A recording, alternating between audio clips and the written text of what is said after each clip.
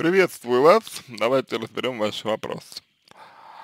А, прежде всего, прежде чем приступить к разбору вашего текста, хочу сказать, что вам не понравится то, что я скажу, с одной стороны, с другой стороны, я понимаю ваши, ваши чувства, я понимаю ваши ощущения, я понимаю, а, ну, то, что вы ощущаете и то, что вы хотите.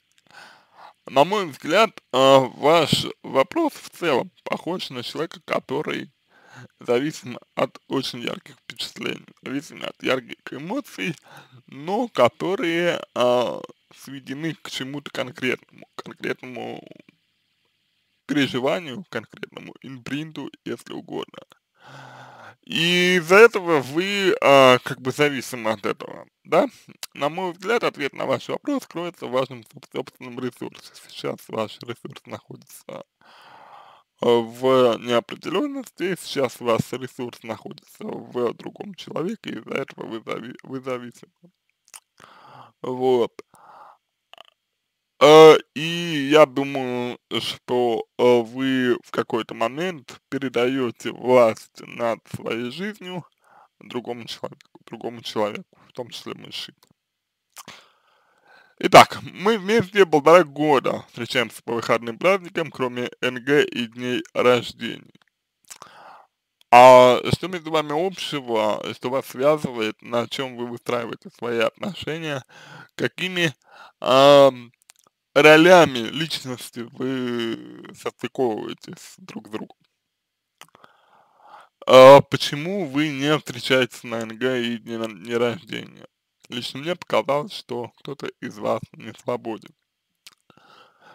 Когда мы вместе на этом море нежности, буря, ураган, океан эмоций. Это страсть, и на страсти отношения не построить.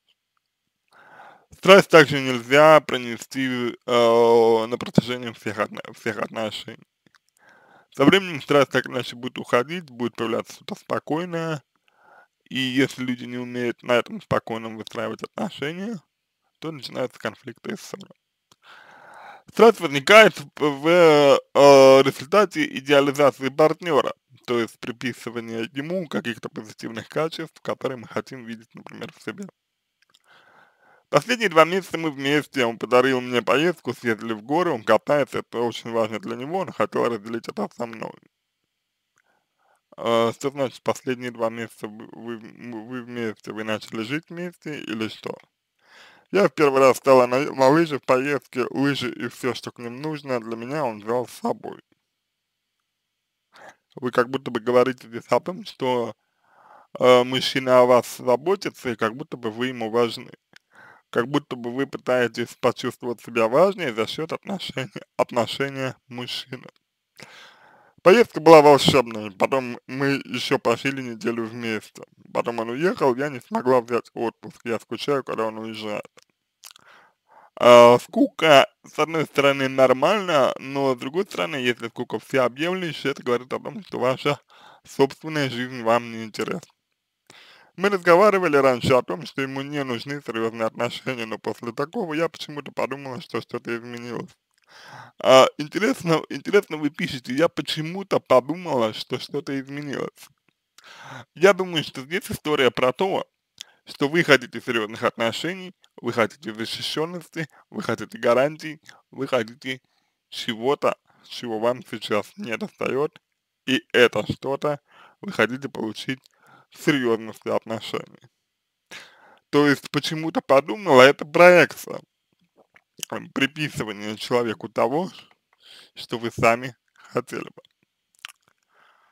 Мы стали ближе, он часами учил кататься меня, как, э, каким был заботливым, как я готовил завтраки, как мы гуляли, нам вместе классно. Ну, здесь я не очень понял оборот речи, но опять же вы говорите про себя, про свои ощущения, но приписываете эти ощущения ему. То есть здесь проблематика личной границы верный признак э, зависимости. Потом ничего, ничего не изменилось, а должно было. Я решила позвонить узнать, почему мы попробовали жить вместе, если не собираемся жить вместе. Снова здесь мы. Здесь нет личной ответственности. Почему я попробовала жить вместе, если мужчина сказал, что не хочет серьезных отношений. То есть здесь игнорирование позиции человека в пользу своих потребностей. Он сказал, потому что это было классно, ну, что-то такое. И это правда. То, что с вами классно, не означает, что он хочет с вами строить серьезные отношения. А, просто нам хорошо вместе. Я в слезы. И вы не а, подвергаете вниманию, вы не обращаете внимания на то, откуда у вас слезы. Ведь слезы возникают не просто так. Считаете ли вы проблемой, что у вас появляются слезы? А, считаете ли вы проблемой то, что фактически это детская позиция и попытка манипуляции мужчины? Он решил, что, возможно, лучше будет расстаться. Зачем, если вместе хорошо расставаться? Да, но вы же сами сказали, что зачем жить вместе, если мы не собираемся жить вместе. Тут вы противоречите сами себе. Он сказал, потому что не может дать мне то, что мне нужно. А что мне нужно? Да, действительно, Елена, а что вам нужно? Чего вы хотите-то? В итоге решили пока оставить все как, как было. Опять же, кто мы? Кто мы решили оставить все как было? Вы или он?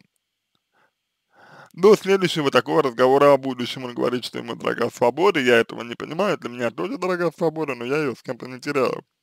А почему вы судите по себе мужчину? Мужчина другой человек. То есть она у меня все равно остается. Да, возможно, но почему у другого человека должно быть так? Поговорить мы можем только если я обостряю конфликт. То есть, по сути, манипуляция. А так между, между вами получается доверия и открытости нет. Что говорит о том, что отношения вы выстраиваете довольно ограниченными аспектами ваших личностей.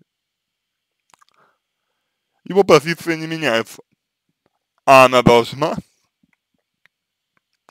он так и сказал, ничего не изменится, до этого у него были отношения 5 лет, и также жили вместе, а потом она ушла тихонько, потому что ни, ни, ни, никуда ничего не двигалось. И вы думали, что с вами будет по-другому.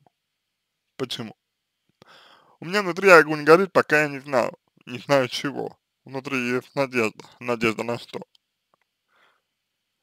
Самый лучший, э, самый качественный способ э, стать независимым, это отходить от надежды. Надежда часто связана с иллюзией, проекциями, ожиданиями. Я получаю невероятные эмоции. От чего? От того, что вы не знаете, от того, что вы рискуете. Но здесь ведь замкнутый круг. Получается, что вы, находясь в ситуации, кайфуете не от ситуации, а от того, как эта ситуация может развиться. Когда вы узнаете, что ситуация так не развивается, как вы ждете, огонь проходит. Когда внутри я понимаю, как оно будет, хотя, конечно, не так, но все. Огня нет. Да, нет надежды. Вопрос не в том, как заставить или убедить, или что-то еще, а как вернуть внутренний огонь. И это ощущение переживания чуда. Елена, а вы хотите все время переживать чудо? Вы хотите все время чувствовать огонь? Вы хотите чувствовать огонь только с мужчиной, или вы хотите чувствовать его сами по себе всегда?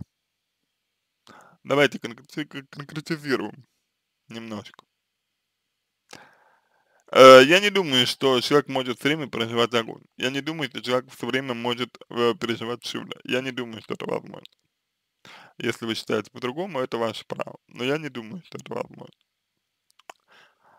А дальше, на мой взгляд, огонь можно вернуть, если развивать э, контакт с самой собой за своим внутренним миром. Сейчас у вас ничего такого, к сожалению, нет. И психотерапия может быть направлена именно на то, чтобы развивать контакт с самой собой. При этом, реши, э, при этом параллельно решая ваши внутренние противоречия, которые у вас есть. На этом все. Я надеюсь, что помог вам. Буду благодарен за обратную связь по моему ответу. Это позволит вам начать над собой работу. Желаю вам всего самого доброго. Э, удачи.